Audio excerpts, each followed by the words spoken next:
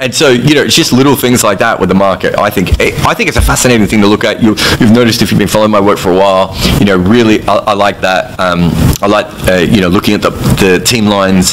Um, I like looking at the World Cup odds as they change in, in, you know, and I'll probably do the same for the IPL this year. I just think it's a fascinating way of looking at cricket. And also, we, I think it's, it's one of those things, again, that cricket does not talk about betting enough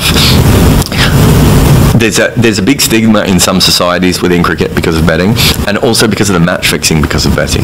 The truth is that legal bookmakers are one of our best defences against match fixing, which I don't think is talked about enough.